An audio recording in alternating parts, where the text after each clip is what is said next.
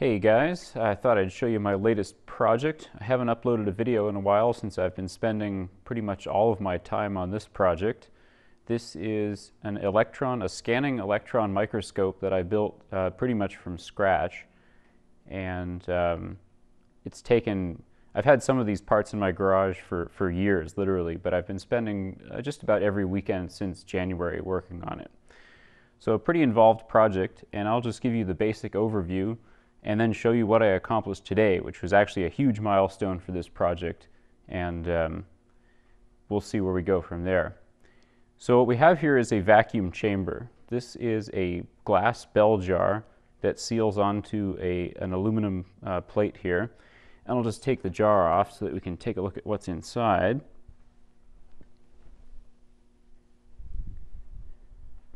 Okay, we have uh, three brass threaded rods which just provide a support structure, and a bunch of copper piping which allows a, uh, a channel to be formed from the top of this device to the bottom. And at the top we have an electron gun, uh, very similar to the one that's in, a, in old style uh, cathode ray tube TVs. So it fires electrons down the copper pipe and uh, slams those electrons into a sample, the thing that you're actually looking at, and then captures the uh, resulting signal, which is also in the form of electrons. And uh, eventually all this is displayed on an oscilloscope, which I'll, I'll show in a minute. So I'll, I'll probably end up making quite a few videos um, showing how this project works. This is really just a very, very brief overview, and uh, I'll get into more details later.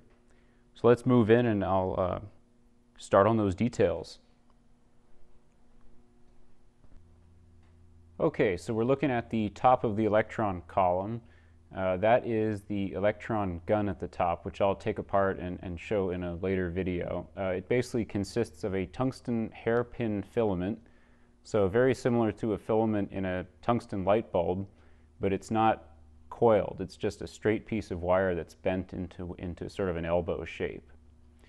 So the hot filament uh, boils off electrons through thermionic emission, and then there's a high voltage accelerating potential of about about 5,000 volts. I, I, can adjust it, but I, I think 5,000 has been a, a, pretty comfortable number so far.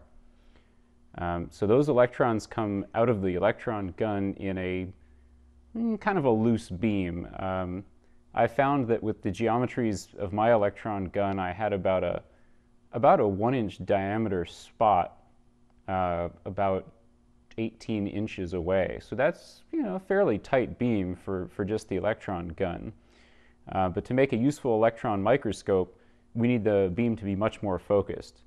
So as the electrons travel down the column, they encounter this, which is a, um, an electron lens. So by uh, exposing those moving electrons to a, a, specific kind of electric field, they can be focused uh, just like photons are focused when they move through a glass lens um, or any, le uh, uh, any material that has a different refractive index than uh, the medium in which the lenses are set, uh, this functions as a sort of uh, condenser lens. So the electrons that pass through here are focused to a point that's very close in the lens. So the focal point of this lens is right about here. So as the electrons come through here, they're focused to this point here and then diverge very, very sharply. And the point of this is to demagnify the image of the, from the electron gun. So this is a way of increasing resolution. Uh, and it's also the reason that you would want to have an electron column that's you know, relatively tall. Uh, the reason these devices aren't short and squat is because um, optically it works out a lot better if the uh, if the electron gun is farther away. And for a similar reason, picture tubes in TVs are set up that way too. Uh, the electron source has to be sort of far away in order for the deflection and focusing to work. Uh, so after the electron beam passes through that lens, there is a set of deflection plates. So we are looking at it uh, so that you can see this bottom set of plates um, you know, edge on and the top set of plates are side on. So it looks like there's just one plate there, but it's actually the same in both axes. And uh, by putting a voltage difference across those plates, we can control how the electron beam is scanned across. So the voltages are pretty low compared to the rest of the system. It's just about a few hundred volts across the plates there at most. Um, and the lower the voltage differential, the less the electron beam moves. And then we, uh, this is actually another lens. This top plate with a, there's an insulator, but there's another uh, electrode in there and a, an electrode here. That's the focus for the beam that focuses the electrons down. And finally, they actually hit the sample, which in this case is uh, that little lock washer there. Just that little tiny washer. And when they hit the washer, uh, they emit a cloud of secondary electrons, and this is the signal that a scanning electron microscope actually um, senses. And we'll talk about how that thing is, how the electron cloud is sensed in, in just a minute. So here's that lock washer, and this was the thing that I used to actually test this whole thing out today, um, just because it's a very simple object and it's conductive, but I'll get into that later. So we were talking about slamming electrons into this thing. Uh, the whole point of this electron column with the copper pipe and everything is just to get a very fine, very tightly focused beam of electrons to hit the target, in this case that lock washer. And when you get a, an electron beam to hit something, uh, by physics, you, you release more electrons from the surface of that object. So the way this works is the beam is scanned across the target object, and these resulting sort of secondary electrons, as they're called, is sensed by this device. Um, this, this particular one is called an Everhart-Thornley detector, and the way it works is by attracting those secondary electrons that are liberated from the surface of the object over to here, and it does that by putting a voltage on this cage. And inside here there is a, a phosphor, just like the coating on a television screen or an oscilloscope. And when those electrons are attracted over here, they're, they're accelerated and slammed into that phosphor, creating a little flash of light.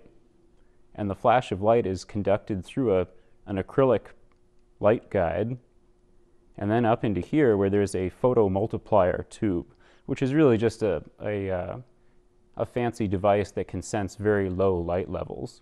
So what we end up is with a, a, a flickering sort of light that's being sensed by the photomultiplier inside here. And the reason this plastic bag is on is, is just to keep stray light out. So the way an image is formed uh, is by synchronizing the scanning that's going on in this electron microscope with the scanning that's going on on our display device, which is an oscilloscope in this case. So as the electron beam is scanned across the surface of our sample, it's also scanned across the surface of the oscilloscope. And the signal that we get from the secondary electron detector is routed to the oscilloscope's uh, brightness, basically, the beam brightness on the oscilloscope. So when we're getting a, as the beam moves across, when it's in a position where it's getting a strong signal, the oscilloscope will be bright in that spot on the screen. And when it moves into a region where there's not much signal coming out, the oscilloscope will be darker in that region. So an electron microscope, a scanning electron microscope doesn't actually form an image in the microscope like a light microscope does. It actually scans across and just sends that, that information out through this secondary electron detector.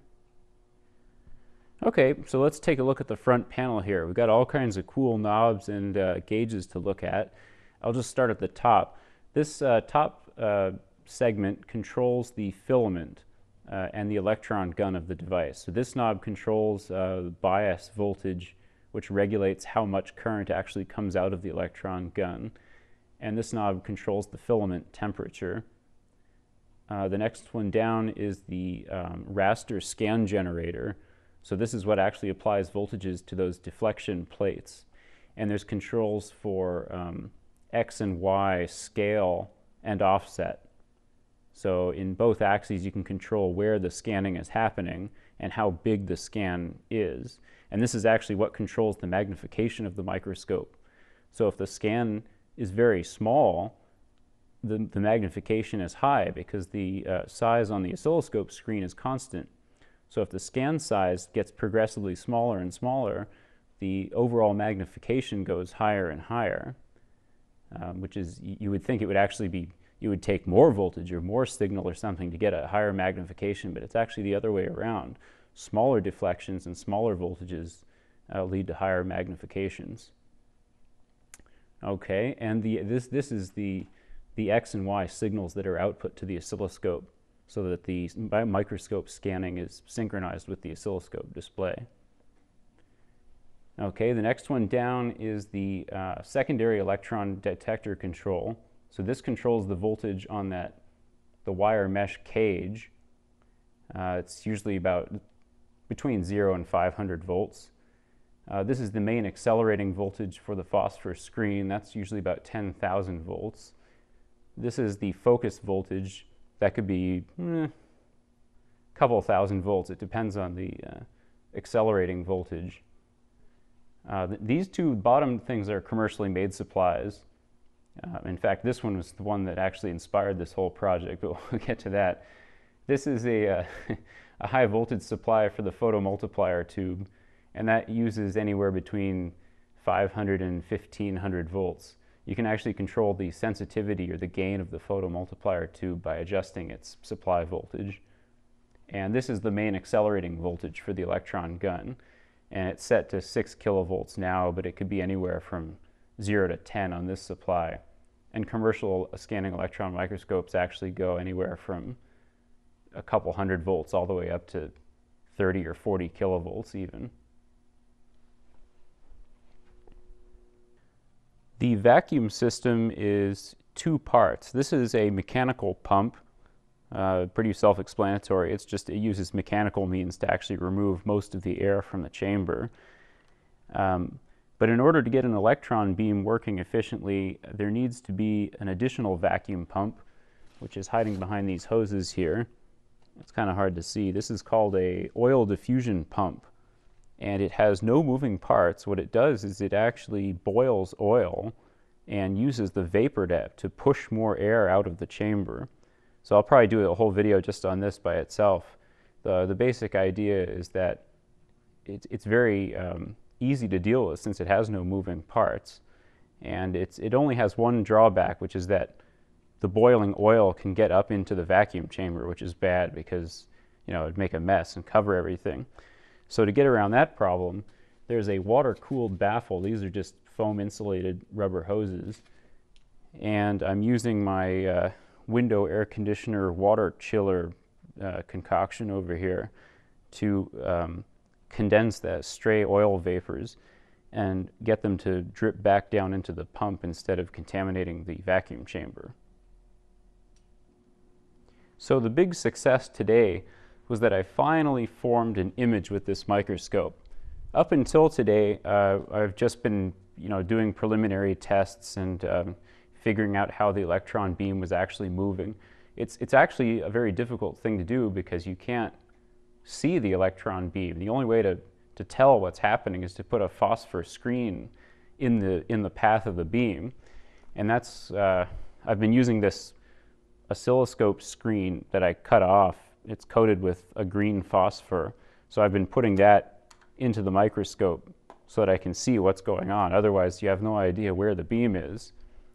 And uh, if this, you know, project generates some interest, I'll do a video on all the problems I ran into. But it, it basically took, you know, two, two or three months here to, um, to get the beam under control and, and working the way I was, you know, hoping that it would. Um, so So today we finally got an image and basically all the parts of this system are working even though we, we still have quite a few refinements to go through.